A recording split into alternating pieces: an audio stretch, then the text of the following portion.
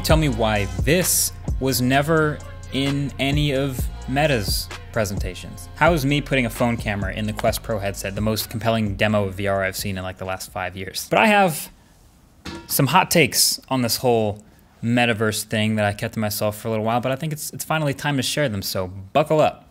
Let's get into it. So Meta's stock is down over 60% this year. Facebook's growth has flatlined, and their CEO, Mark Zuckerberg, has doubled down on this commitment to the whole metaverse thing, which they've continued to pour tons and tons of money into. It's like, what is going on here? But let me let's just zoom out a second and start with some definitions. VR is virtual reality, which is, you know, putting the headset on and being completely immersed in a new virtual world. AR is augmented reality, which is overlaying virtual things on top of the real world. I'm going to use those a lot in this video. Those two things, though, are, are both particularly hard to demo. You, you kind of have to try it and use it to actually understand it and appreciate it. So I know there's a lot of curiosity about VR, especially lately, and it can be kind of hard to tell if it's like just another trend in tech, like 3D TVs, whatever happened to those, or if it's actually the future that we'll all be living in, like Ready Player One, or maybe more like WALL-E. Hard to tell. Either way, there's basically one visible mega company that's clearly pushing all their chips in on this definitely being our future, and that's Meta, formerly known as Facebook, with their CEO, Mark Zuckerberg. This guy this guy right here. And he explained to me many times that they really believe in this metaverse thing. And he showed me all of this Quest Pro stuff right before it was announced on stage. So I got to form my opinions on it before the slightly more cringeworthy presentation version we've all seen. The, the metaverse might have a pretty terrible reputation already, but let's try to take a step back, look at it objectively like a piece of tech, shall we? So, like I said, VR is one of those things you kind of have to try to understand and appreciate, but also the spectrum of how much people care about the metaverse is hilarious. Like, all the way from not caring at all and never having tried VR in their life, all the way to like serious believers, like companies hiring a chief metaverse officer and metaverse being in every headline and just like a weird obsession with it. So it can be kind of hard to give a single answer to this, but I actually think it's pretty simple. The internet as we have it right now, is mostly controlled by two things ads and devices. So if you control the ads, then you're the one connecting people to the things that they buy. That's basically what Google does. Like Google's job is to know everything they possibly can about people and then show them ads for things, not just on Google search results, but all over the internet with Google AdWords. Pretty much every company in the world who does online advertising pays Google to do it for them. So for as much as we talk about like the Pixel and Google Chrome and Android on this channel, Google is at its core an ads business. And then if you control the devices people use, then you very much have control over what makes it to people's eyeballs. Facebook has wanted to make a popular device, but they don't make one. Trust me, they've tried. But now, in 2022, as popular as Facebook is, they have clearly saturated the market. They've peaked, they've begun their inevitable very slow decline, and so they're they've made their bazillions of dollars. But now, with things like the iPhone adding that Ask App Not to Track button, that took a multi billion dollar chunk out of Facebook's ads business. Didn't really hurt Google as much because people still go to google.com and type in a box what they're looking for. Google still knows a lot about people. So, bottom line bottom line is Facebook is accepting that L. You know, they, they dominated the early parts of the internet and that was great, but now the slow decline has begun and they're moving on to the next big thing. And if you could look all around at all the technologies that could maybe be the next big thing, that one thing that keeps bubbling back up to the surface has been VR and AR. And so Facebook, Meta, can control as much of this VR future as possible the software, the hardware, the ads, the things that make it to people's eyeballs. Then they will regain the control and the money that they're after. So cue them rebranding themselves to Meta and pouring billions and billions of dollars into that exact mission. Okay, so this might be kind of a hot take, but the Meta Quest Pro, this headset, is $1,500, and I'll explain the thinking behind that in a second, but it is actually pretty good. It's a pretty good, technologically speaking, a pretty good headset. It is much more comfortable than a lot of others I've tried, so they've split the components now between the displays and lenses in the front, and speakers and buttons through the middle, and then the battery at the back. It is it is lighter than it looks, but I think it's more about the balance and the weight. Here you can see, feels like the balance point is right in the middle there, which is better. But then you put it on and you look like this. Here you go. Boom. And without the uh, blockers on the side, there is a little bit of a gap and you do have peripheral vision light coming in from the sides and not the top. Inside there is a custom Snapdragon XR2 Plus processor, 256 gigs of storage, 12 gigs of RAM, and then a slimmer set of displays and lenses. And then the screens inside are giving you 1920 by 1800 per eye at up to 90 FPS. And it can do this decent full color pass through with the 10 sensors and cameras scattered around the outside. It's not the best pass through I've ever seen, but it does work and it lets you feel like you're in a normal environment. Plus, there's these new Touch Pro controllers, which have cameras and sensors of their own, and they all charge on a single dock through some pins, which you'll be doing often because sadly the headset does just have like a one and a half hour battery life when unplugged. But then there's also a suite of sensors on the inside facing your eyes, facing your face for face tracking. Okay, right now I'm looking at an alien face, but a little bit more interesting than that is the alien face is in real time showing what the headset sees my face doing. And so every expression that I make, every little facial movement, oh, the eye movements, the every it's it's kind of a lot of the little things too, like the little muscles on your face that move when you talk and you make little micro expressions. So if I was in a, a virtual world and trying to convey emotions to another person, then they would see everything.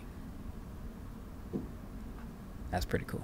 VR and AR both work pretty well through this headset, but at the end of the day, it still is a pretty chunky, it's a pretty big headset. It doesn't fold down either, so if you want to travel with it, you need like a bag or a backpack.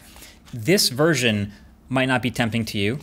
Zuckerberg keeps telling me, you know, people buy a new $2,000 machine as their desktop computer all the time. And this is maybe a replacement for that someday. But this might not be tempting to you. But theoretically, in a couple of years, a new version of it is much, much smaller, closer to like a regular pair of glasses.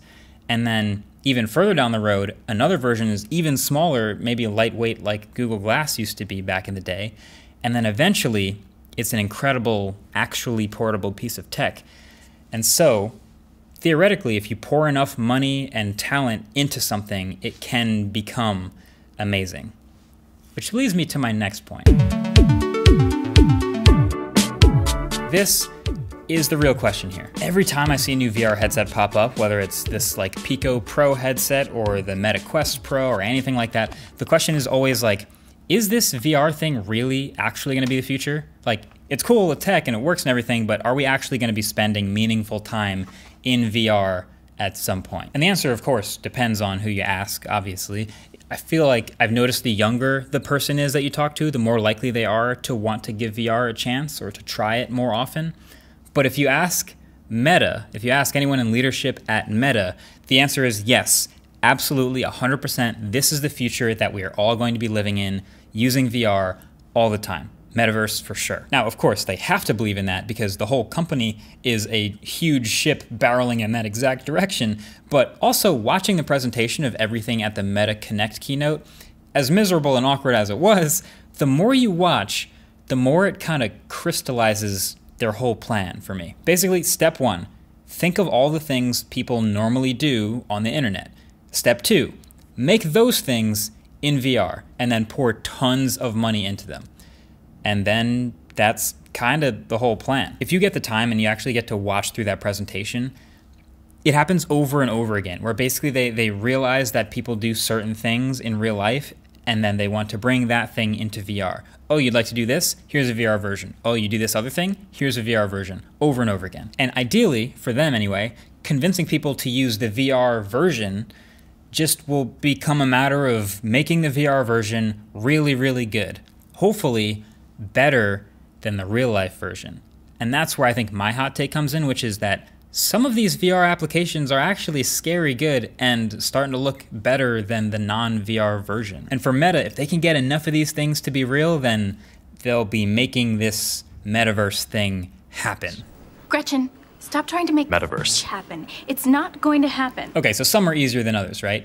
Gaming, yeah, we've got some good games already in VR. Now, we got to work on getting more, like a, a better variety of games, better fidelity, etc., more immersion. And pouring money into this ecosystem will entice developers to rapidly improve games and make better games, which is awesome. But there's more to life than just games. What else do people do all day in 2022? Zoom calls? Okay, perfect. Yes, they've got Zoom calls but better. They've built an entire virtual meeting room experience where you can do video conferencing in VR with other people. So, you know, if some of your friends or coworkers don't have VR headsets, that's fine. They'll show up as a floating video feed in the metaverse. But now, with a bunch of people in meetings, you can talk to the people around you, you can do breakout meeting rooms instantly, really good immersive presentations, etc. Now, currently, as you can tell, these are all using these avatars. And these I think are bad. They're pretty cringy. I I mean, you can customize them, of course, with a bunch of different things, different hair and features and outfits and piercings, etc., which is kind of neat, sure, but you still end up feeling like a metaverse meeting is just a bunch of Mii characters from Nintendo Wii.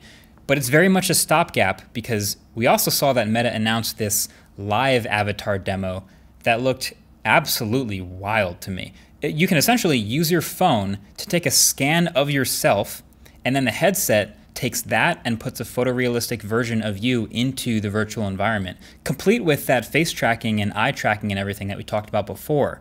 That is super next level. So you can imagine now, instead of just a Zoom call with coworkers, a really good meeting is a bunch of people from all over the world all in one room with all the advantages of the eye contact and relative audio positioning and being able to like lean over to the person next to you and say something really quietly just to them. All of this is stuff that you can't really do in a zoom call. And so just replace these weird avatars with the hyper realistic ones and they might be onto something. But that's just meetings. That's not even that much time. What else do people do? Uh, maybe they just work remotely period sure, okay, then they'll build this whole metaverse, this whole virtual office building for people to work in. So if they work all over the world in different countries, they can all collaborate in the same spaces. But even the first thing I showed in this video, which is just simply working on your computer, which is a thing that many people do for many hours a day. And the Quest Pro has native Mac support that let me project my Mac screen onto these multiple huge virtual screens. So you can take a huge triple monitor setup wherever you go, basically. You can just take this headset with you and do way more with fairly high resolution that can again get better with time and more money. They've poured money into Microsoft to bring Office 365 and Word and Excel and everything into workrooms natively. They've poured money into Accenture to give them like thousands and thousands of VR headsets to get those people to use the metaverse to work virtually all the time. Basically, Meta can and will dump a ton of money into this because that's all they're doing right now. There's like a, a common trope that like if you want to make a bunch of money as a startup right now, just make a virtual reality tech startup in some way, and you will eventually level up enough to just get acquired by Meta. It's no wonder chief metaverse officers became a thing. That became a way to like make it seem like you might get acquired by Meta. But that brings us to the last thing. There's only, really, there's only one problem that I have with all of this, which is that one company controlling the entire foundation of this second generation internet, if you want to call it that, this metaverse, uh, is a terrible idea. So this comes down to Meta wanting as much control over this future as possible. Facebook was built on someone else's foundation. They want to build the next foundation and then be the ones responsible for everything that grows up on top of it the, the workrooms, the games, the experiences, everything. So that they're pretty visibly pouring as much money into it now as possible to get as far ahead as possible. Now, plenty of other companies are, are developing and making really cool VR stuff now along those same lines, don't get me wrong. There's the Pico headset I just showed you. There are stuff from Google, stuff from, I think we all expect in the next year or so, Apple to finally unveil their VR headset, which I think will make Meta a little bit nervous because Apple will for sure make sure that's the best one for iPhone users. But Meta has already, you know, made so many connections and, and built so many technologies and bought up so many VR companies and VR studios that it sucks. But it's like if there's any company that can be positioned to bring this technology over the hump to make it a thing, then it's Meta. But the downside of that one, especially this company, having possibly that much control over people and over the future of the internet, and possibly doing crazy things like like using eye tracking to make sure you see certain ads is way too much for me to want to root for it at all. I've said it before, but when companies truly compete, that is actually when we win. When there's actually real incentive to get better because competition makes them better, that's when we get better stuff. But man, Mark's metaverse money might make the meta thing much more mainstream, or maybe not. Thanks for watching. Catch you guys later. Peace.